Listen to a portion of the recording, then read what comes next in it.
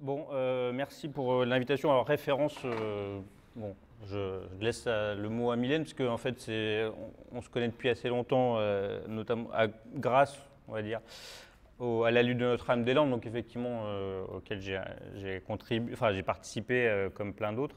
mais à référence, ça, ça s'arrête là, on va dire. J'ai pas de compétences particulières, sauf que je milite sur les questions environnementale depuis euh, quelques années, mais j'ai pas de, voilà, j'ai pas je suis pas scientifique, je suis pas, donc euh, ce que je veux essayer de proposer, c'est plus euh, une façon de discuter, de débattre sur ces questions-là, hein, et de effectivement des dimensions politiques liées aux questions climatiques et de de, on va dire, de proposer une discussion sur qu'est-ce qu'on peut faire, comment agir, etc. Parce que Autant on sait depuis euh, plusieurs années que la question des changements climatiques, elle est euh, importante. Peut-être je reviendrai sur cette importance-là et sur le degré d'importance. Autant, effectivement, c'est jamais simple. Euh, c'est une question qui est difficile à saisir et qui pose, à mon sens, des questions essentielles, pas seulement de climat ou d'écologie, mais globalement des, changements des questions de société, de changement de société. Et je crois que, effectivement, les réponses euh, au changement climatique sont d'une certaine façon nécessairement révolutionnaires, dans le sens où on ne peut pas complètement envisager une euh, résolution de cette question-là dans le cadre du système capitaliste. Euh, alors pour revenir très rapidement en fait, hein, sur, les derniers événements, bon, comme Mylène l'a dit, effectivement, tout le monde a pu sentir, enfin peut-être ici, peut-être un peu moins, vous êtes presque en Bretagne, qui faisait, qu'elle avait fait... Ah, vous êtes en Bretagne, pardon c'était pour savoir si, euh, je voulais soulever un peu ce débat-là en venant à Nantes. Voilà. D'accord, pour que je parle plus là, mais du coup, euh, je vais me tourner un peu plus. Voilà. Hop. Euh, ça me fait un peu bizarre d'être sur derrière cette grande table. Euh, et du coup, oui, euh, donc il y a une canicule. Bon, c'est pas la première, mais effectivement, c'est même s'il n'y a pas de certitude là pour le moment d'un point de vue scientifique des causes de cette canicule, elle vient quand même confirmer un certain nombre d'épisodes, d'événements, d'événements climatiques, et elle confirme toute une série de projections des climatologues hein, sur, le, réchauffement global et elle s'inscrit aussi dans une longue chaîne de, euh, de, phénomènes météorologiques extrêmes euh, qui, se, effectivement, depuis un certain nombre d'années, se, se, multiplient. Juste, j'ai lu euh, un, petit article avant hier, il y a eu un rapport de l'ONU là, qui est sorti qui essaye de calculer un peu, le, enfin, d'évaluer un peu les effets des catastrophes environnementales et au sein de ces catastrophes environnementales, les catastrophes climatiques c'est euh, en 20 ans, donc c'est 98-2017, hein, 3 000 milliards de dollars de, pertes, euh, dont 2, 200 milliards euh, sur les changements climatiques. Alors contrairement à ce qu'on pourrait croire, ce ne pas les pays pauvres directement qui sont les plus impactés, c'est les États-Unis hein, qui ont été le plus touchés. En Europe, c'est l'Allemagne, l'Italie et la France, mais une des différences, hein, c'est que euh, les pays du Sud sont bien plus impactés d'un point de vue euh, humain. Hein, euh, parce qu'effectivement, c'est eux qui subissent les, pertes humaines les, plus fortes. Hein. Il y a eu, selon ce rapport, 1 300 000 personnes tuées en 20 ans dans des catastrophes environnementales, et l'essentiel étant dans, les pays, dans les pays du Sud. Hein. Et donc on voit déjà, juste avec ces chiffres-là, que l'inégalité dans la capacité des sociétés à agir et à réagir face aux, catastrophes est euh, inégale. Euh, donc on a effectivement ce sentiment avec toute une série d'événements très récents, les incendies en Grèce, euh, tout ce dont a parlé Mylène, hein, qu'effectivement la, la, la situation s'accélère. Et puis donc on a eu ce rapport du GIEC qui est sorti cette semaine, hein, qui vient bien sûr confirmer ça. Et euh, donc ce rapport, il s'inscrit donc dans la suite de l'accord de Paris de 2015. Alors, je ne sais pas si vous avez suivi un peu euh, ce qu'a été cette euh, COP, 20, cette COP 21, hein, qui a évoqué l'objectif, donc qui a en gros rappelé l'objectif historique, on va dire, des, des, des, négociations sur le climat de ne pas augmenter de 2 degrés de la température mondiale par rapport à l'ère pré-industrielle, mais qui a dit qu'il faudrait essayer d'atteindre une hausse de, euh, enfin de limiter plutôt la hausse à 1,5 degré. Euh, et donc les pays signataires de l'accord avaient demandé euh, une compilation des études scientifiques disponibles pour voir dans quelle mesure cet objectif-là était atteignable et quelle différence il y avait hein, entre 1,5 degré et, 2 degrés. Et premier euh, constat, hein, c'est que effectivement, euh, à 2 degrés, ça va être la catastrophe, mais à 1,5 degré également. Hein. le hausse des niveaux des eaux, le nombre d'espèces végétales et animales qui vont être affectées, etc. etc. Déjà à 1,5 degré, ça va produire des effets euh, importants. Et ça, bien sûr, ce n'est pas une surprise, parce que là, on est en gros à 1 degré Celsius depuis, de, de, hausse de la température globale depuis, euh, depuis euh, enfin, par rapport à l'ère pré-industrielle. Donc 1 degré, c'est euh, un niveau global. Hein. Ça veut dire qu'il y a des, des, régions du monde où c'est bien plus que ça. Et on voit déjà hein, les effets, pardon, les effets que, que ça a hein, avec les inondations, les incendies, etc. il y a des études qui sont encore plus alarmistes que celle-ci. Il y a un, rapport de scientifiques qui est sorti cet été qui a aussi énoncer des choses qui étaient déjà un peu, un peu connues, mais qui a un peu systématisé la, chose, hein, sur le fait qu'il y aurait un peu, euh, euh, enfin, qui, qui, contredit en gros l'idée qu'il y aurait un peu une espèce de d'évolution parallèle entre euh, les, les, émissions de CO2 et l'augmentation de température. C'est-à-dire qu'à un moment donné, les scientifiques ils, analysent l'existence d'effets de seuil où il y a des emballements qui sont, qui sont possibles hein, et le fait que, en gros, euh, si on dépasse 2 degrés Celsius, le, phénomène de, réchauffement euh, va euh, s'emballer et s'accélérer énormément. Hein, donc ça, effectivement, c'est assez, inquiétant. Et l'autre aspect qui est, qui est inquiétant, c'est que donc le GIEC a compilé effectivement toute une série de, de, scénarios. Hein, et donc, ils ont fait un travail de compilation de tout ce qui existait un peu au niveau scientifique. Et en réalité, les quelques rapports qui, enfin les quelques études scientifiques qui, euh, euh, envisagent une limitation de la hausse à 1,5 degré est extrêmement minime. En fait, l'essentiel des rapports scientifiques ne sont pas sur cette hypothèse-là parce qu'elle semble extrêmement, euh, extrêmement lointaine. Et donc, on voit qu'on est vraiment là, pour le coup, au pied du mur. Hein, et même si, je vais y revenir, ça confirme toute une série de choses qu'on connaissait déjà. Hein. Là, on a cette confirmation-là, euh, face à laquelle finalement euh, les gouvernements euh, semblent assez, assez incapables de, réagir.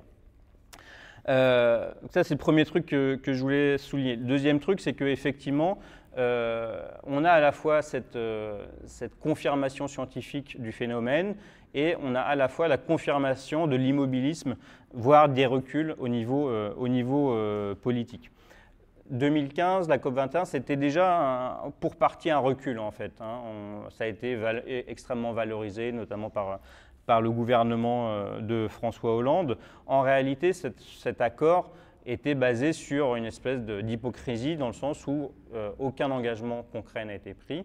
Il y a eu des promesses prises État par État sans obligation de respect euh, de, ces, euh, de ces promesses, et y compris le respect éventuel de ces promesses ou de ces engagements euh, conduirait à des, choses totalement inacceptables. Hein. Il y a eu des évaluations qui, qui, montraient qu'en gros, si tous les États faisaient ce qu'ils, ont promis lors de la COP21, la hausse de la température serait située en gros entre 2,7 et 3,7 degrés à la fin, à la fin du siècle. Et puis, on constate que euh, en 2017, les émissions de gaz à effet de serre sont reparties à la hausse. Vraisemblablement, euh, la tendance à la consommation, la tendance euh, pour 2018, pardon, devrait être à peu près du même nature. Et y compris, on voit des engagements qui commencent à diminuer. là, il y a une, un, sommet européen cette semaine hein, qui a revu à la baisse les engagements pour 2030 de l'Union européenne. Hein. Et donc, on a une situation hein, qui est quand même au niveau politique est euh, extrêmement, euh, extrêmement euh, bloqué. Et si on, effectivement, on met bout à bout d'un côté Trump aux États-Unis, Bolsonaro, a priori au Brésil, Macron en France et ce qui se passe ailleurs, y compris par exemple dans un pays comme l'Allemagne, hein, où effectivement le, enfin, le, gouvernement peut favoriser la destruction d'une forêt pour construire une mine de lignite, on voit qu'effectivement la situation politique, de ce point de vue-là, hein, n'est pas du tout, n'est pas tout, n'est pas du tout optimiste. et on a une espèce de bégayement de l'histoire d'une certaine façon. Hein. L'autre jour, je lisais, il, y a, un appel qui a été lancé par des 700 scientifiques donc, euh, qui tirent la sonnette d'alarme, etc. Et euh, qui indique un peu ce qu'il faudrait faire, qui signale que, par exemple, effectivement, les émissions de gaz à effet de serre sont en augmentation en Europe, en France, etc. Et en même temps, ce, signal d'alarme, j'ai l'impression de l'avoir lu euh, extrêmement, enfin, de nombreuses fois. Et donc on se dit effectivement, qu'est-ce qu'il y a de nouveau? Euh, Je ne sais pas ce qu'il y a de nouveau, mais je crois quand même qu'aujourd'hui, on rentre dans un moment où il y a une prise de conscience de euh, ce qui est en train de se passer. Il y a des luttes qui se mènent de plus en plus massives sur tout un tas de, tout un tas de questions liées au changement climatique et euh, sur lesquelles je vais essayer de, revenir à la fin pour essayer de voir voilà, comment, comment, comment agir. Troisième aspect que je voudrais souligner, c'est effectivement, on est en France, on a un gouvernement Macron depuis quelques, quelques mois. bon, vous n'êtes pas sans savoir qu'il a été élu euh, monsieur, je ne sais plus quoi, monsieur Climat ou monsieur, monsieur Sauveur de la Terre récemment. Alors, en face de lui, il a Trump. Alors, bon, c'est un, un, peu facile, c'est comme il est l'ami des migrants face à Salvini, c'est un peu le. bon, voilà, c'est un peu le, même genre de, le même genre de combat un peu, un peu biaisé. Euh, bon, en fait. Euh, y compris par rapport aux objectifs que la loi, que la loi de transition énergétique de 2015 s'est fixée, euh, la France est largement au-dessus de ses objectifs, hein, que ce soit pour les émissions de gaz à effet de serre ou pour les objectifs de, consommation d'énergie.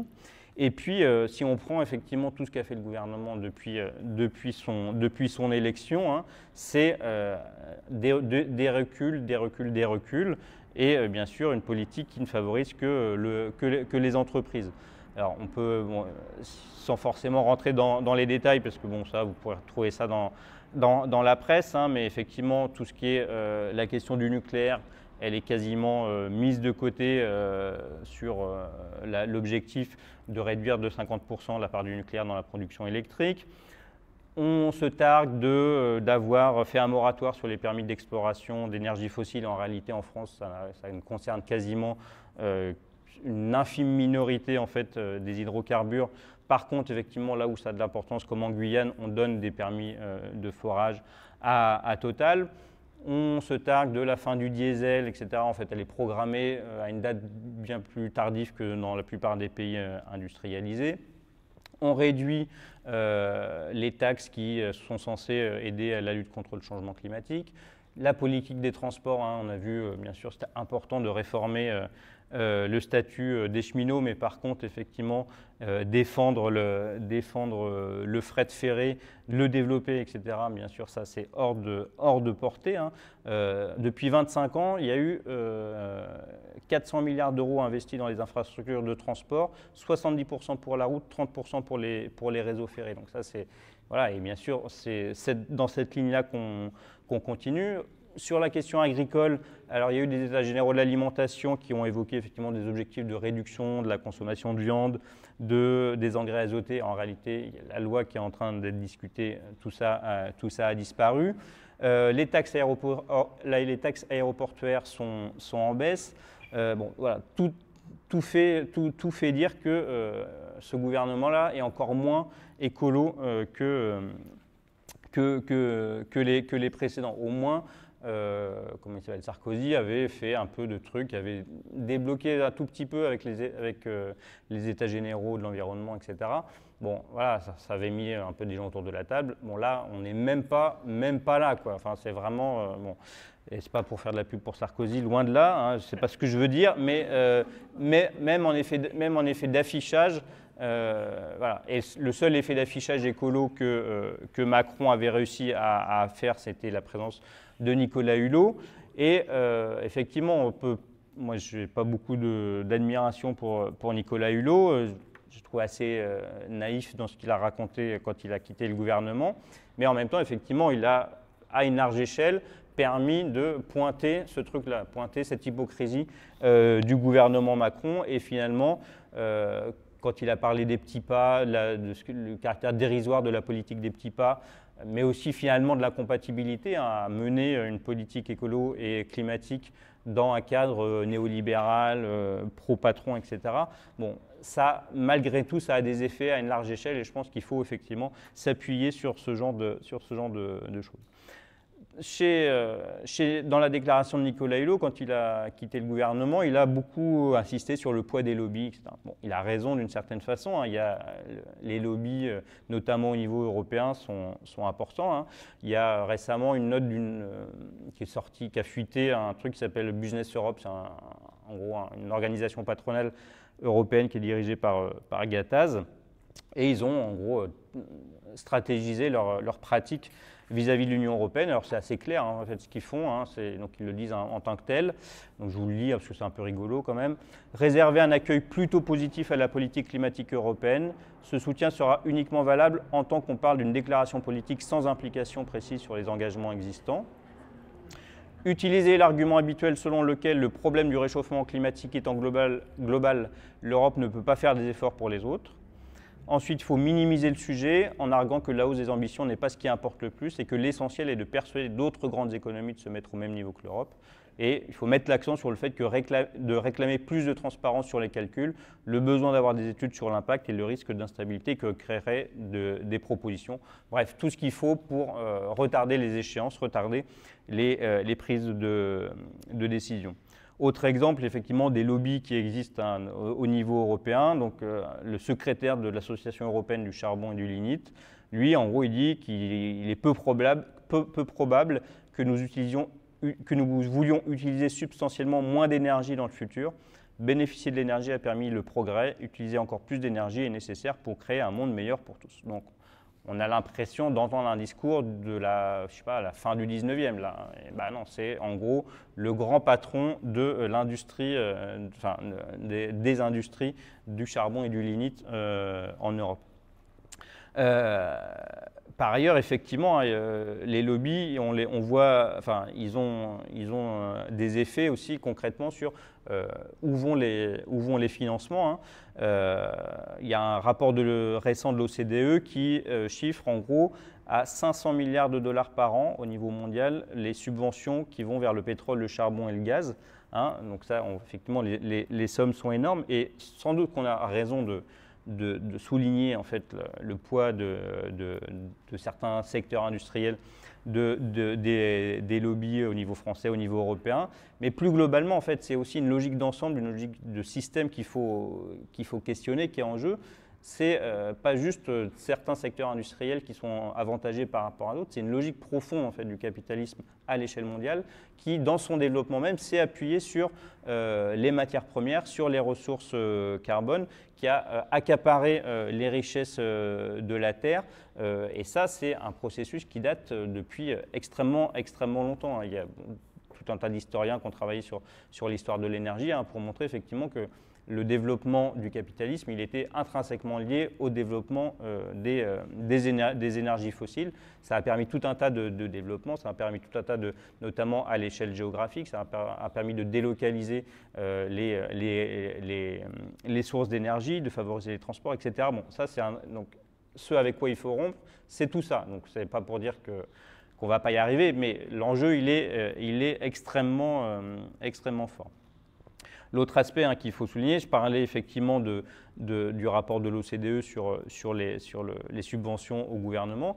Bien sûr, le, gouvernement français, non seulement, bien sûr, il ne mène aucune politique écologique ou, euh, climatique, mais euh, sa politique euh, budgétaire, sa politique fiscale va tourne le dos à toute possibilité d'action, que ce soit le CICE, la réforme de l'ISF, toute la politique fiscale, etc. Bien entendu, c'est autant d'argent qui va euh, dans les poches euh, des, entreprises et du patronat qui ne va pas justement à l'argent public pour euh, financer des plans de, transition énergétique. Et tout ça fait quand même que c'est assez rageant que ce, chef d'État puisse se présenter à l'échelle internationale comme le grand leader euh, pour, pour, le climat. Et donc je crois qu'on a déjà aussi ce travail de déconstruction politique à faire, d'expliquer que Macron euh, n'est pas, euh, pas, n'est pas l'ami des travailleurs, mais n'est pas non plus l'ami, l'ami du climat. dernier aspect que je voulais un peu, et c'est peut-être surtout là-dessus hein, qu'il faut, qu'il faut discuter, hein, c'est qu'effectivement, on, a, on a vu que la démission de Nicolas Hulot avait produit une espèce de, sentiment, mais qui s'était traduit, et ça pour moi c'était une vraie surprise, par des mobilisations de masse. Hein. donc le 8 septembre, 150 000 personnes dans, la rue, euh, en France hein, globalement, 50 euh, 000 à Paris, c'est des chiffres à peu près, euh, exacts. en fait, on n'a jamais connu ça en France, à cette échelle-là. En gros, c'est ce que ceux qui avaient prévu les mobilisations au moment de la COP21 avaient un peu envisagé. Hein. Et la mobilisation a été interrompue par, par l'état d'urgence. Euh, mais euh, là, on a euh, non seulement une mobilisation, alors, on va dire ponctuelle, mais de, masse, relativement de masse, hein, voilà, mais surtout un truc relativement spontané. En fait, il y avait des choses prévues ce jour-là par quelques organisations, mais qui étaient, on va dire, dû être relativement mineure. Et en fait, on a vu cette, euh, cette déferlante en quelques jours s'organiser euh, de façon, notamment à travers, à travers les réseaux sociaux, et euh, qui doit un peu nous interroger, parce que moi, c'est de comprendre un peu ce qui se passait, en allant en manif, en regardant un peu ce qui se disait. c'est une mobilisation très fragile, très diverse, assez difficile à saisir, avec beaucoup de jeunes, souvent un peu qui n'ont pas d'expérience euh, militante euh, antérieure, qui va dans, plein de directions euh, différentes, mais qui part quand même de l'idée que la démission de Nicolas Hulot, c'est le signe de l'incapacité des politiques à agir, même quand ils sont bien intentionnés, comme le présentateur d'Ushuaïa. Et donc, du coup, ça appelle à, l'idée que c'est à nous de prendre les choses en main. Alors, ça ne dit pas comment, hein, bien sûr, mais je crois que c'est un bon point de départ de partir de ce sentiment-là que voilà, alors ça, peut nourrir un sentiment antipolitique dans le sens où il n'y a plus rien à changer, donc euh, du coup c'est à nous de le faire, mais on va le faire dans notre coin, mais ça peut aussi appeler à l'action politique et euh, à l'action collective. Et euh, donc je crois qu'il faut vraiment s'insérer dans ce qui se passe en ce moment, être présent, voilà, même si effectivement c'est des réseaux militants, enfin ou, en, cours de construction qu'on ne connaît pas nécessairement, mais aussi bien sûr on ne part pas non plus de rien. Le 8 septembre, ce n'est pas euh, le début, euh, le grand début de quelque chose. C'est une étape importante dans un certain nombre de, combats et de, luttes qui existent déjà depuis, euh, depuis des années. Et je crois qu'il faut, à partir de ces, des expériences déjà anciennes, de ces nouvelles formes de mobilisation, essayer de, clarifier, enfin pas de clarifier des choses, mais en tout cas de se poser un certain nombre de, questions. En gros, à mon avis, euh, il y a euh, déjà des choses euh, qu'il faut écarter de la façon dont on pense un peu ces questions-là. Première chose qu'il faut écarter, c'est que, en gros, la démocratie serait incompatible avec l'action pour le climat et pour la biodiversité. Hein, le fait qu'il faudrait aller tellement vite pour opérer des changements qu'en gros, il faudrait imposer des mesures y compris des mesures euh, antipopulaires. Ça, c'est à mon avis une impasse qu'il faut vraiment euh, rejeter. Deuxième impasse, je dis ça parce que ça, peut faire partie des discussions qui existent dans les, mouvements écolos ou dans, les mouvements pour le climat. Deuxième impasse, c'est l'idée qu'on serait tous égaux, tous égaux face au changement climatique, qu'on aurait des intérêts équivalents et que en fait le, phénomène serait tellement dangereux, tellement urgent, tellement puissant qu'il faudrait mettre de côté la question sociale, la question euh, des, inégalités. Troisième euh, chose qu'il faut écarter, c'est qu'il faut arrêter d'envisager la question de la résolution de la crise climatique comme nécessairement euh, négative pour les populations, comme nécessairement antisociale. Au contraire, je crois qu'on a besoin de s'appuyer sur sur l'effet de pourriture du monde actuel et le fait de, euh, que justement on n'en veut pas de ce monde-là et qu'on a besoin de dessiner un autre avenir qui soit, euh, qui soit euh, désirable. Et dernière chose qui me semble qu'il faut écarter, c'est que qu'il faudrait considérer qu'au vu des rapports de force, aucun changement euh, global n'est possible et qu'il faut se cantonner d'une échelle micro extrêmement locale, mettre l'accent sur les pratiques exemplaires, l'idée que ça commence par euh, l'individu, ça commence par moi. Ça, effectivement, c'est une tendance forte dans les... Enfin, ça peut être en tout cas une tendance forte et il faut euh, la combattre et convaincre que ce n'est pas, pas la, solution. Ensuite, je crois qu'il faut, dans ces enjeux-là, dans ces débats-là, dans ces mouvements-là, bien sûr, j'y reviendrai un petit peu, s'appuyer sur l'envie d'alternative, mais aussi pouvoir expliquer, pouvoir s'affronter à ce que sont les, les, verrous, hein, les blocages qui font qu'en gros, il est impossible de mener euh, une politique ambitieuse euh, face au changement climatique si on continue euh, de la même façon dans le commerce international, dans le pouvoir de la finance, dans le fait que, en gros, les industries, les industries fossiles sont toujours, sont toujours financées. Hein. Et je crois que la question du commerce international, elle est, elle est extrêmement importante, hein, y compris, enfin, tous les débats qu'il y a eu autour du CETA, donc les accords euh, entre l'Union européenne euh, et, le Canada, mais ça va être la même chose pour euh, l'accord sur l'Union européenne et le, et le, et le, Japon. Tout ça, effectivement, c'est des, des, des, combats politiques extrêmement, extrêmement importants parce que, en fait, ces politiques-là empêchent toute, toute, mesure, toute mesure ambitieuse. donc ça, il faut vraiment en avoir conscience et mener les combats dans, dans, ce sens-là. Ensuite, ce que je voudrais dire peut-être pour, pour terminer, c'est voir, en gros, euh, il y a plusieurs dynamiques possibles qu'il faut essayer de, de, tenir ensemble, plusieurs euh, axes, on dire, de, de, de l'action qu'il faut essayer de, voilà, de, faire, de, faire, de faire agir ensemble. Première, euh, premier axe, c'est la question des résistances en tant que telles. Les luttes, les façons, les conflits pour bloquer en gros euh, les, politiques de, destruction du monde. Alors, vous êtes très bien placé dans la région euh, avec Notre-Dame-des-Landes pour voir de quoi, de quoi je parle, mais effectivement, en ce moment, il y a une lutte très très importante, donc dont j'ai dit deux mots tout à l'heure à Ambar, en Allemagne, pour la défense d'une forêt contre, contre, qui doit être détruite pour euh, laisser la place à une mine de lignite. Hein. et là, il y a une victoire partielle et provisoire pour le moment, mais pour le moment, en tout cas, depuis la semaine dernière, le tribunal de, je Münster a, ordonné l'arrêt de la destruction euh, de, la forêt. Euh, et donc, il y a tout un enjeu sur gagner le statut de protection de la forêt. Il y avait 50 000 personnes manifestant le, samedi dernier pour ça et, pour la sortie du charbon. Hein.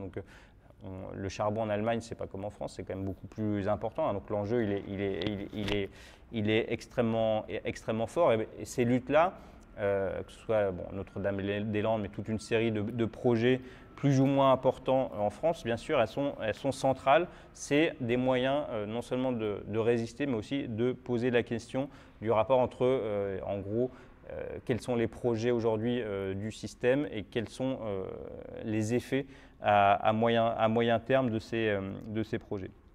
Deuxième, euh, deuxième axe, c'est l'idée qu'en gros, euh, on doit euh, se battre pour euh, ne pas coopérer à ce système-là et à un certain nombre de, dimensions de ce système-là. Et je pense en particulier, j'en ai déjà dit deux mots, sur la question de, toutes les campagnes pour le désinvestissement des, énergies fossiles. Donc là, il y a une campagne qui est en cours, qui est notamment menée par ATTAC et par une autre organisation qui s'appelle 350, hein, qui s'appelle Pas avec notre argent, et qui cible à la fois les banques et à la fois la Caisse des dépôts et des consignations qui est un organisme en fait qui manie beaucoup d'argent, hein, qui concentre 60% de l'argent du, livret du développement durable et solidaire, et qui finance avec cet argent euh, bon nombre de projets, euh, bon nombre de projets euh, d'énergie fossile. Donc ça, ça fait partie, c'est des cibles aussi concrètes, tout comme les banques hein, sont des, cibles concrètes. Il y a une étude des Amis de la Terre là sur toute une série de banques et leur financement des énergies fossiles. Et il y a depuis plusieurs semaines plein d'actions en fait, qui sont menées contre ces organismes-là. Et ça, c'est aussi, euh, ça fait partie aussi des choses qu'il faut, euh, faut poursuivre. À quoi sert l'argent qui dort dans les banques? À quoi sert l'argent qui sont euh, sur les livrets A ou sur les livrets de développement durable et solidaire? C'est des, comptes qu'il faut réclamer à ces, à ces organismes, de, ces organismes financiers. Troisième euh, dimension, c'est un truc euh, bon, à la fois classique et à la fois toujours un enjeu de débat important, la question, euh, faire de la question climatique et écologique une question sociale. Bon, dit comme ça, ça, voilà, ça, serait un, un, débat de toute une soirée à part, mais en gros, intégrer le fait d'une part que la question des inégalités, elle est au cœur de la question euh, environnementale, que ce soit à travers la, question de la précarité énergétique, la question de la santé, la question euh, euh, du, travail, la question des différences entre territoires, la question de l'accès au transport, etc., etc. La question des inégalités, elle est centrale et il faut se battre effectivement pour la question de la justice climatique, c'est remettre au, cœur de ces combats-là la question, la question de l'égalité. Ça pose aussi la question des transitions. Euh, on envisage, on souhaite, on, essaye d'inventer euh, ou de penser au moins en tout cas un autre, euh, un, autre système basé effectivement sur euh, euh, d'autres types de consommation, d'autres types de production, d'autres types de transport. Quid des salariés dans ce processus-là?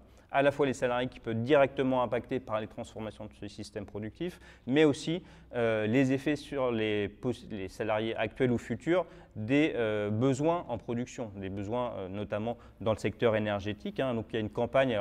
Euh, qui, euh, qui démarre pas beaucoup, mais qui a fait un document assez intéressant qui s'appelle Un million d'emplois pour le climat et qui donne des pistes hein, pour euh, justement créer des emplois utiles, socialement valorisés en plus, hein, parce qu'effectivement, ça serait des emplois qui serviraient pour la collectivité ça, ça doit aussi s'articuler à des, à, des, à des, revendications, à des questionnements sur le travail même, l'organisation, hein, parce que je crois qu'il y a beaucoup de souffrance au travail aujourd'hui. Et ça, là, encore, c'est aussi un enjeu, un, enjeu, social, un enjeu politique extrêmement central qu'on ne peut pas déconnecter de la question, euh, de la question euh, environnementale. Si on prend par exemple la question de la paysannerie hein, et de l'emploi paysan, mais de du travail paysan même, on voit que bien sûr ces, ces questions-là sont, euh, sont, sont liées. Et derrière ça, bien sûr, il y a quels sont les acteurs sociaux aussi du, changement social. Et la question des salariés, la question des précaires, la question euh, des syndicats, bien sûr, elle est centrale. Alors, euh, tout ça est, compliqué. Hein. Le, syndicalisme est depuis des années en position défensive, hein, en essayant de, euh, défendre coûte que coûte un certain nombre, d'acquis. malgré tout, il y a des réflexions dans le milieu syndical hein, qui se qui se mènent, y compris, euh, j'ai un camarade de, Saint-Nazaire qui me racontait euh, la dernière fois que je suis venu à Notre-Dame-des-Landes qu'en en organisant le, tour Alternativa à vélo, il a rencontré des syndicalistes CGT de Donge, donc de, de, la, la, raffinerie, et que euh, voilà, il y a eu des débats extrêmement intéressants, ouverts, enfin en tout cas sur l'idée qu'est-ce qui se passe pour les salariés d'un tel secteur si on arrête, euh, si on arrête avec, les, avec les énergies fossiles? Et ces débats-là, il faut effectivement les mener, il faut, euh, faut s'adresser aux syndicats et je crois que bon, y a, y a à faire euh, de, ce, de ce point de vue-là. quatrième, quatrième que je voulais euh, évoquer très rapidement, c'est la question euh, de la place des alternatives. Donc effectivement, il y a toute une série d'alternatives qui existent. Bon, les plus connues, c'est euh, les AMAP. Alors il y a des choses plus modestes, la réparation de vélos, les trucs d'économie circulaire autour de, la réparation de, diverses choses, etc. Bon, tout ça est extrêmement encourageant, intéressant. le problème, c'est effectivement la surface sociale qu'elles occupent le, le, rapport à la marginalité de ces expériences-là, hein, parce qu'effectivement, il y a en gros des niches qui se, qui se sont présentées à un moment donné dans lesquelles effectivement euh, des gens se sont, ont, trouvé, ont trouvé une place. Et je crois qu'au contraire, il faut euh, je ne sais pas de quelle façon, hein, mais euh, réfléchir à une politisation de ces expériences-là, une extension de ces expériences-là. Hein. par exemple, euh, entre une AMAP qui va euh,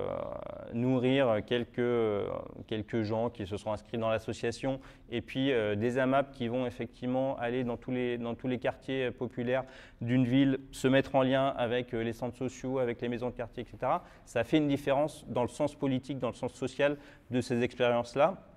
Et je crois que c'est aussi à ça qu'il faut, euh, faut, euh, faut euh, réfléchir. Autre aspect alors, qui est plus compliqué à aborder, mais que, qui, qui est discuté aussi chez, tout un tas de, réseaux écolos, la question du soin, le fait qu'en gros, euh, on est dans, des, dans, dans, une société, dans des systèmes qui font souffrir la nature, qui font souffrir euh, les êtres humains, qui, vont, euh, aller en, qui va aller en s'aggravant dans les années à venir, et que effectivement, une politique alternative, ça doit pas du tout négliger ce rapport-là qui doit se recréer.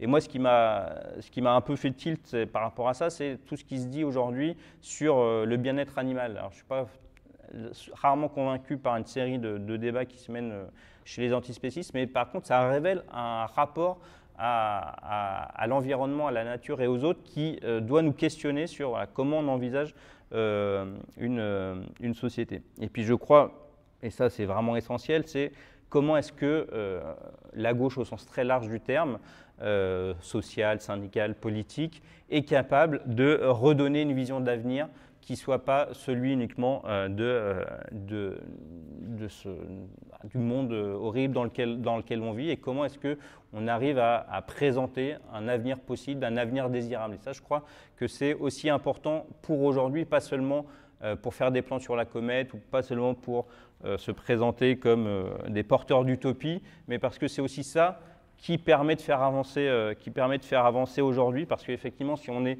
convaincu euh, que euh, rien n'est possible dans ce, dans ce système-là, il faut dire vers quel système on veut aller, vers quel type, pas de système forcément économique, mais vers quelle pensée de, l'organisation sociale il faut, se, il, faut, euh, il faut aller. Et ça, ce n'est pas de, la réflexion en chambre, chacun dans son coin, c'est des, débats qu'il faut avoir collectivement. Dernière chose, bien sûr, c'est aussi l'action au niveau strictement politique, hein, au niveau du champ politique. Je crois qu'effectivement, toutes les, toute organisation politique qui, qui se présente dans, dans, le champ politique, si elle ne met pas l'écologie sociale, l'écologie populaire, l'écologie politique au cœur de son projet, elle, en gros, elle ne doit pas avoir euh, ni notre soutien ni notre participation. Hein. On voit euh, la trajectoire d'Europe Écologie est de ce point de vue-là extrêmement éclairante, la façon dont cette organisation a oublié en fait toute une partie de ce qu'étaient euh, ses origines contestataires pour effectivement se rentrer en gros uniquement dans le jeu des institutions et oublier de ce que c'était la nécessité de construire un mouvement populaire, doit aussi nous, nous faire réfléchir. Et euh, par ailleurs, effectivement, il y a des combats à mener dans les institutions, au niveau local, au niveau national. Hein.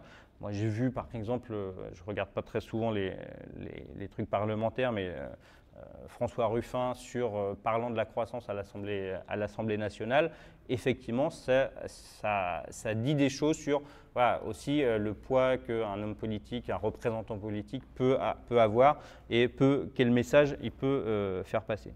Dernière chose, j'ai parlé du 8 septembre. Demain, il va y avoir une nouvelle série de marches pour le climat. Alors, je ne sais pas ce qu'il en est à Nantes, qu'est-ce qui, qui, se passe. On pourra peut-être en discuter. Moi, ça m'intéresse un peu aussi de, savoir euh, ce que vous en pensez de, du 8 septembre, de, ce qui se prépare euh, pour, pour demain. Euh, je crois qu'il faut peut-être contrairement à ce qui a été une vision un peu traditionnelle du mouvement ouvrier, pas chercher à unifier un mouvement pour le climat. Ce n'est pas ça l'idée, c'est qu'en gros, il y a toute une série de choses qui existent. Il faut mener des débats dans différents espaces, dans différents mouvements. Et il faut par contre des temps, hein, comme le 8 septembre, comme demain, pour donner une visibilité de cette, euh, ce, temps commun, cette diversité des gens qui ne se satisfont pas euh, de la catastrophe climatique et qui souvent sans savoir exactement par où euh, prendre le problème, veulent quand même agir. Et euh, donc, euh, à la fois, donc, respecter toute cette diversité-là, donner des cadres communs qui ne seront pas forcément des cadres unifiés, qui penseront tous la même chose, mais qui permettront d'avancer d'avancer ensemble et, si possible, dans le même sens. Voilà, je vous remercie. bon, juste sur le GIEC, quand même, le, le, enfin, les rapports du GIEC sont reconnus quand même pour à peu près 95% de la communauté scientifique euh, mondiale sur la dimension scientifique.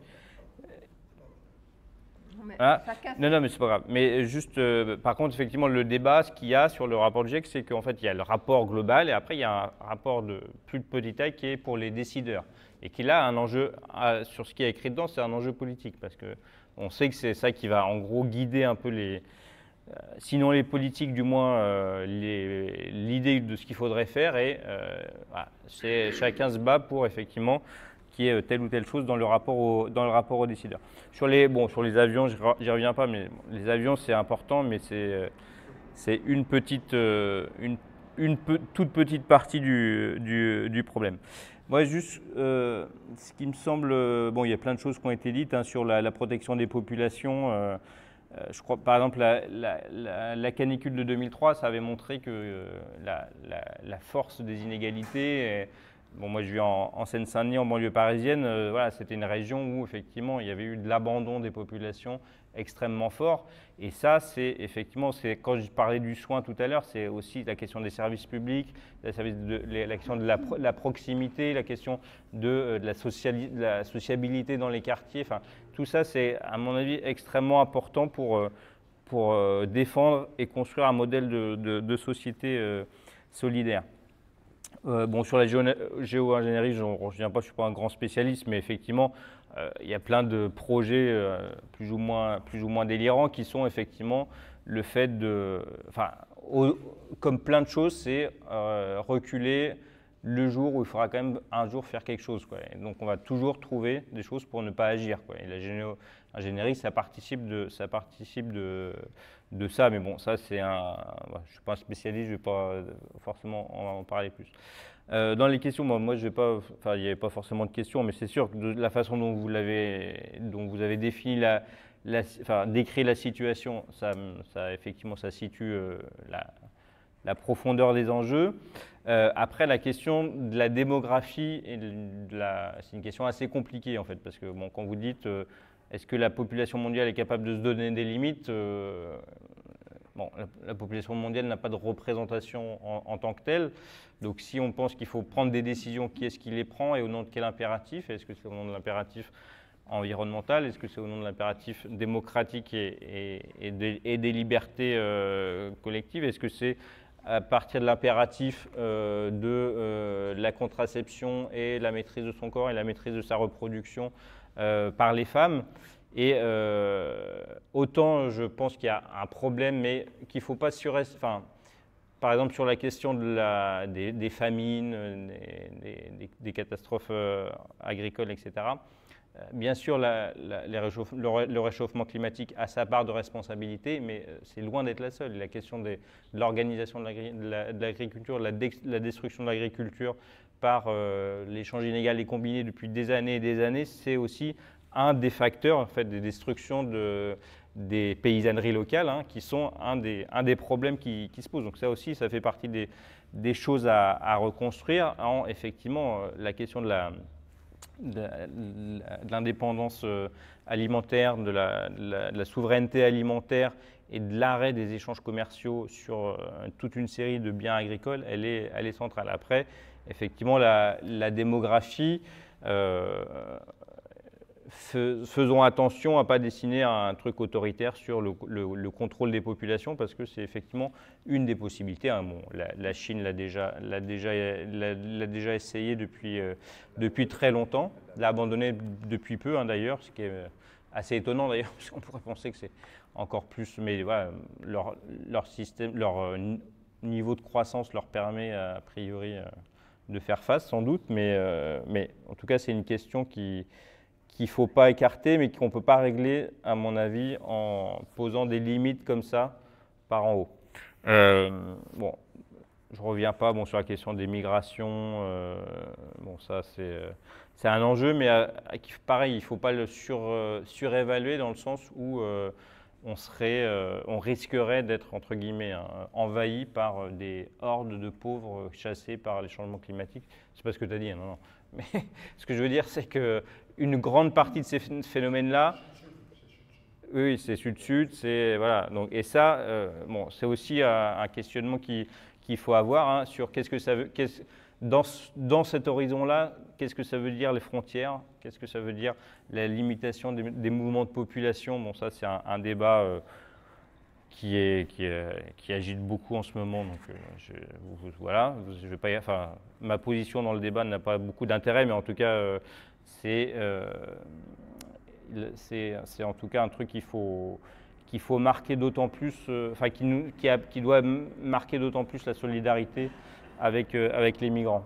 bon, sur les questions moi, qui me, qui bah, m'interrogent, hein, c'est ce que vous dites, ce que tu disais sur le, sur euh, les débats sur euh, échelle micro, comment agir, euh, où on en est. Bon, ça, effectivement, c'est, c'est, moi, j'ai pas de. Ce que je voulais dire, c'est qu'en gros, il y a une partie en fait de, d'une transformation de, l'écologie en pratique, pratique vertueuse, pratique écologique, qui sont en gros, d'une certaine façon, une forme de de libéralisme euh, un peu progressiste où effectivement on va, on va un peu acheter mieux, un peu, quand, on en a, quand on en a les moyens. Est-ce que tu disais tout à l'heure sur le fait, moi tout seul à petite échelle c'est compliqué, c'est cher Ben oui, c'est cher. Et puis est-ce que c'est euh, est -ce c'est la solution?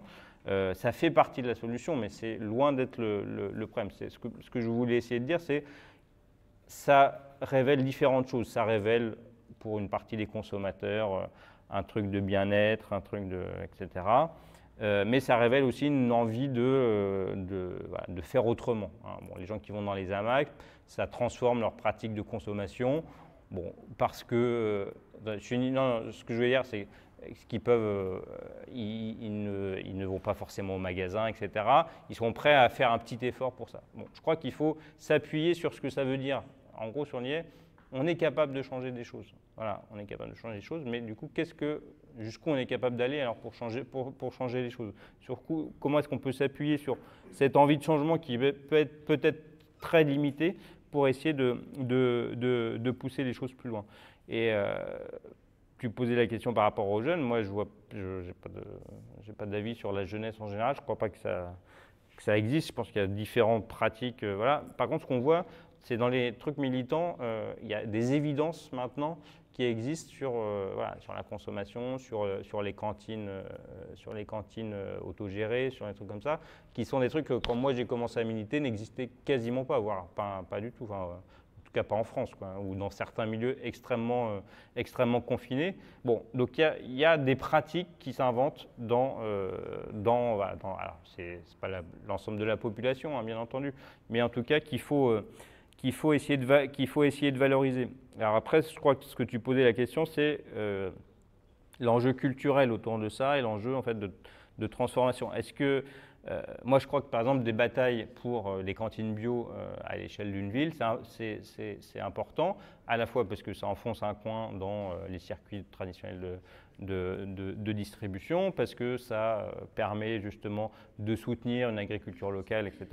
Mais aussi parce que ça euh, habitue, ça transforme les pratiques euh, d'une partie de la population. des enfants dans les cantines scolaires, mais des salariés aussi sur les lieux de travail où il y a, où il y a encore des cantines collectives.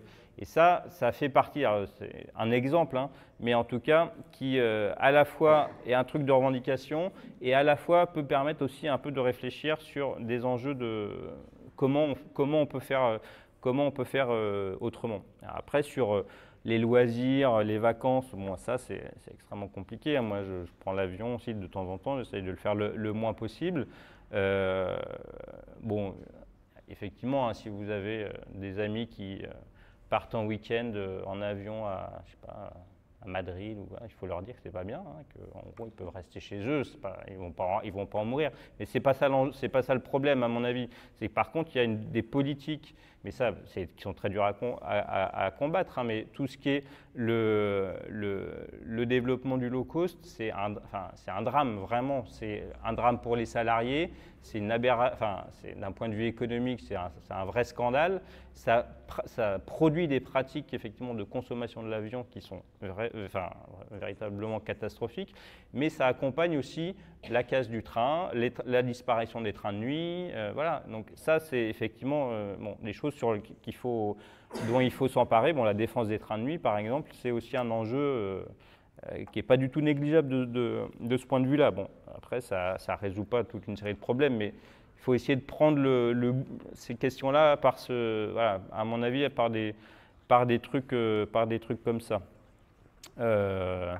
Peut-être dernière chose sur les pratiques et sur comment on, envisage euh, le, la question de, tu disais, les élections. Bon, euh, bien sûr, les élections, c'est des moments importants de la vie démocratique dans un pays, mais euh, bon, le changement social n'est pas difficilement conditionnable aux, changements électoraux. On voit bien que, moi je suis pour qu'il faut se battre sur l'arène électorale, il faut, euh, il faut essayer de soutenir ce qui est le plus à gauche et qui, peut, qui, a, un écho de masse, mais en même temps, voilà, il ne faut pas non plus attendre déjà du, en gros d'une solution d'en haut qui viendra résoudre tous les problèmes, y compris parce que sur ces questions-là, on peut effectivement favoriser une planification écologique, notamment sur, euh, sur, la question, sur la question énergétique, on va se retrouver quand même effectivement face à aussi comment les sociétés changent. Et les sociétés ne peuvent pas changer que parce qu'un euh, un gouvernement progressiste l'aura décidé. Donc le, mouvement de transformation sociale,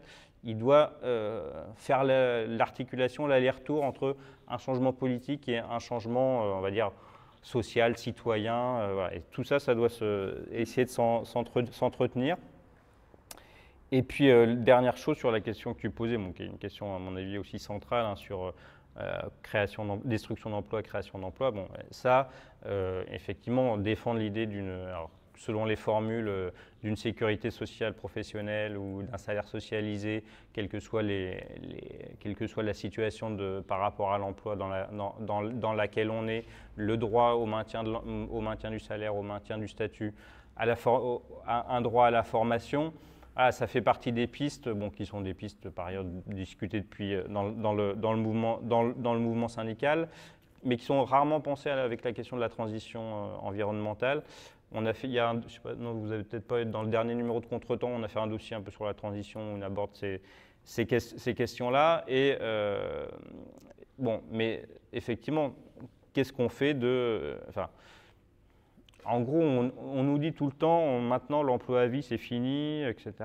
Il faut, être mobile, il faut changer, etc. Bon, bah, prenons, à la limite, prenons, ces discours-là au pied de la lettre et faisons en sorte qu'effectivement, il y ait des évolutions euh, de, la structure de, l'emploi qui permettent de faire basculer une partie du monde du travail euh, vers les secteurs qui seront intéressants. Et je crois que d'un point de vue individuel, c'est extrêmement plus valorisant de travailler dans des secteurs qui vont être utiles à la société, qui vont euh, faire du bien, qui vont être des services publics, qui vont, etc., que effectivement d'être cantonné dans son, dans son truc de, je sais pas, de, parlais de, publicitaire, mais ça peut, ça peut, ça peut être d'autres secteurs. Donc ça, mais ça, c'est aussi des discours qu'il faut, qu'il faut construire. Il y a eu, euh, je ne sais pas si vous avez vu, il y a un, anthropologue américain qui, a fait, qui est un peu connu, qui a fait une tournée, David Graeber, qui fait son truc sur les bullshit jobs. Eh ben, c'est ça qu'il faut, il faut combattre vraiment les bullshit jobs et leur opposer des emplois utiles euh, à, la, à, la, à, la, société. Je pense que ça, c'est aussi, ça fait partie aussi des, enfin, des propositions et des discours qu'il faut défendre. Très très vite, puisque enfin, c'était plutôt les interventions et voilà, j'étais d'accord euh, avec beaucoup de choses et il y a plein de questions qui sont très intéressantes qui ont été posées. Parmi celles que je retiens, euh, mais euh, enfin, il y a la question effectivement que vous posiez sur les coopératives énergie. Moi, je trouve qu'effectivement, c'est euh, je ne connais pas très bien le cas de l'Allemagne, mais si j'ai bien compris, il y a une partie de la, transition énergétique alors, qui, a beaucoup de limites, il y a un maintien fort du charbon, hein, mais euh, qui n'est pas uniquement centralisée et, euh, dépendante de, l'État ou des landers, mais qui, s'appuie effectivement sur des initiatives coopératives très locales, etc. Et ça, je pense qu'effectivement, c'est un, enjeu important. Hein, et, justement, c'est aussi pour ça que je disais par rapport aux élections à l'État qu'il faut penser aussi euh, la, place de ce type d'initiative-là dans la transformation euh, sociale et, dans la transformation environnementale, tout en y gardant à l'esprit, mais ça je pense que vous en êtes tout à fait conscient, hein, que euh, bien sûr c'est la capacité à faire ça, au moins en tout cas sur la question des, des euh, coopératives énergétiques, c'est une certaine population déjà qui est propriétaire qui peut le faire, qui a un petit peu, d'argent. Du coup, ça pose la question aussi, qu'est-ce qu'on exige par exemple euh, quand il y a euh, un bâtiment public qui s'installe pourquoi est-ce qu'il n'y a pas systématiquement des, des, panneaux solaires dessus voilà, Ça aussi, ça fait partie hein, de, des choses à une certaine échelle, mais qui, doit, qui doivent se, faire. je sais pas, il y avait un copain de, Sud l'autre jour, on discutait de ça sur tous les bâtiments des entreprises publiques, de la poste, des entrepôts, etc. Enfin, il y a, y a, y a de l'espace pour, euh, pour installer de, des choses. Quoi. Euh, sur, euh, ouais, sur juste les transports en commun, sur la question des villes, moi je trouve effectivement il y a un problème de toute façon qui c'est sur, euh, sur l'organisation du territoire et sur le, gigantisme urbain qui fait qu'effectivement on est pris dans une espèce de, de piège où euh, de toute façon le, c'est pas qu'une question d'organisation des transports en, en commun, c'est qu'effectivement, moi j'habite en région parisienne, euh, j'ai pas de voiture parce qu'on a un réseau effectivement relativement dense et moi j'habite pas très très loin de mon, travail, mais je suis une relative exception. Hein. et donc la, distance et le rapport travail, elle a cassé ce que euh, le copain tout à l'heure euh, disait sur ce qu'était Nantes ou d'autres villes dans, à une certaine époque de relative proximité. voilà. Bon, je pense, je sais pas trop quelle est la solution à avoir avec ça, mais en tout cas, le, l'agrandissement toujours plus important des villes et par ailleurs le, le fait que d'autres petites villes euh, meurent depuis très longtemps, euh, notamment euh, pour des raisons d'organisation du, commerce local, c'est bon, une, question, c'est une question à mon avis aussi importante. Vous parliez de la, enfin, tu parlais de la question de la gratuité. Moi, je crois que c'est un, une question, enfin, en termes, en de revendication, c'est quelque chose d'assez important. bon, pour les transports, enfin, sur ce que vous avez dit, mais aussi d'un point de vue euh, social sur, euh, en gros, je ne vais pas appeler ça le pouvoir d'achat, mais en tout cas la richesse de chacun, euh, dans le sens où effectivement la, gratuité, c'est aussi socialiser une partie de, des, dépenses qui sont aujourd'hui individualisées, et c'est aussi du coup une façon de, redonner un peu d'argent, notamment pour les, classes populaires. Et ça peut se réfléchir sur un certain nombre de, de biens vitaux, les transports, l'énergie, euh, peut-être quelques... Les bibliothèques. les bibliothèques. les loisirs. Enfin bon, ça, je pense que c'est un, truc qui est, important et qui euh, inverse un peu la logique du, de la revendication syndicale du pouvoir d'achat qui est liée forcément à l'augmentation du salaire et à un certain mode de consommation. Hein. et je pense que ça, c'est un truc qu'il faut, bon, qu'il faut vraiment... Euh, qu'il faut vraiment défendre. Deux derniers trucs sur, non, trois derniers trucs. Bon, sur euh, les revendications, alors il y a eu un appel qui a été très euh, médiatisé, apparemment beaucoup relayé sur les coquelicots et les pesticides. Là, je ne sais pas si vous avez vu passer, euh, passer ça. Bon, voilà, ça fait partie des, des trucs à la fois bonne idée et à la fois il faut faire attention parce que en discutant moi avec des, militants de la Confédération paysanne, je me suis rendu compte que ça passait pas du tout ce truc-là parce que cet appel et tout ce qui était dit autour par Fabrice Nicolino et les initiateurs de l'appel passait totalement à côté de la question paysanne, de l'emploi paysan, des conditions de travail du monde paysan. Et, donc il faut faire attention dans les, revendications à, les, comprendre dans toutes leurs dimensions. Alors sur les COP, euh, bon, il y a très vite, pareil, par rapport à ce que disait Jackie, les COP ont été longtemps effectivement un moment un peu de, concentration des mouvements, mais euh, avec des hauts et des bas selon les endroits où c'était. Bon, il y a eu une grosse mobilisation hein, en 2009 à, Copenhague. Euh, depuis 2015, en gros, les mouvements sociaux, ce qu'ils se disent, c'est que l'enjeu central des COP a beaucoup diminué en réalité, parce que maintenant, vu que les négociations internationales ont abandonné l'idée d'un accord, euh, euh, s'imposant aux États, ce qui était un enjeu depuis le protocole de Kyoto, qui a été euh, l'échec de l'échec de Copenhague a été ça, et en gros, le, Paris ça a dépassé ça en fait en mettant fin à toute possibilité d'accord contraignant. Hein. Donc, du coup, les COP vont être des moments de en gros, euh, de négociations sur certaines questions, notamment sur le fonds vert euh, d'aide euh, à l'adaptation pour les pays du Sud, etc., de contrôle ou de point d'étape, entre guillemets, des engagements de chaque pays, mais l'enjeu politique, il est beaucoup moins fort qu'avant. Et du coup, les mouvements écolos, sociaux, etc., qui travaillent sur ces questions-là, plutôt tendance à dire qu'il faut relativiser maintenant d'un point de vue social, enfin d'un point de vue de la mobilisation, ce moment des COP, pour, euh, euh, revenir un peu euh, à, la base, entre guillemets, ou sur des trucs plus, locaux et avec des enjeux plus précis que ce gros truc international dont on n'arrive pas vraiment à se, saisir. dernière chose sur l'effondrement, je ne suis pas du tout un spécialiste, parce que ça fait pas très très longtemps que je, je découvre un peu ça, mais du coup j'étais en train de lire dans le train en venant, mais je me suis un peu endormi, donc j'ai pas, pas eu le temps de finir. De quoi l'effondrement est-il le nom? Pour le dire vite, enfin, mais ce que j'en ai, enfin, mais du coup, euh, c'est un peu un, truc que je, que je, vais bientôt essayer de défricher, mais pour avoir un peu une, compréhension plus des, débats. Mais en gros, c'est l'idée que enfin, le terme effondrement, et là, il y a un côté un peu choc symbolique d'utiliser ce mot, mais en gros, à travers tout ce qu'on a dit, à travers toute une série de, phénomènes, de dire que les sociétés humaines euh, vont s'effondrer. Euh, qu'est-ce qu'on entend par effondrement? C'est ça qui est assez compliqué, parce qu'en fait, ils disent après que fait, ce n'est pas non plus un effondrement du jour au lendemain. C'est, voilà, il y a une comparaison par rapport aux sociétés, euh, à des sociétés anciennes qui se sont effondrées, les Mayens, etc. Bon, moi, je suis assez peu convaincu par ce, cette, cette description des faits, mais c'est en fait, c'est c'est plus une mise en récit d'un certain nombre de données scientifiques que tout le monde connaît que, voilà, que véritablement quelque chose de, qui a un sens à mon, avis. Mais par contre, c'est euh, politiquement se dire qu'il ne faut pas... C'est d'abord penser à se, à se préparer à cet effondrement, à se préparer à la catastrophe.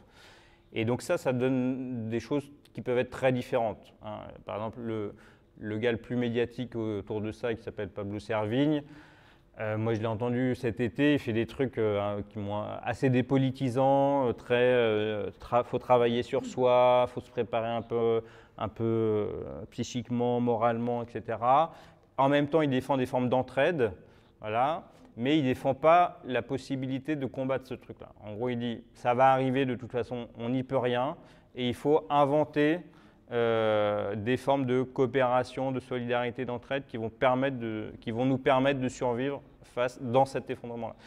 À la fois, je pense que c'est compliqué, puisque je pense qu'il faut toujours se battre pour empêcher ou ralentir au moins la catastrophe. Et à la fois, il y a un truc de vrai, c'est qu'en fait, enfin, qui me semble, en tout cas, qu'on ne peut pas du tout écarter, c'est qu'il va y avoir, je sais pas un effondrement, mais des séries de plus en plus fortes de catastrophes et qu'on va avoir des effets sur les sociétés humaines de plus en plus importants et qu'on ne peut pas juste envisager qu'on va arrêter ça. Ça va arriver de toute façon en partie, on ne sait pas sous quelle forme, etc.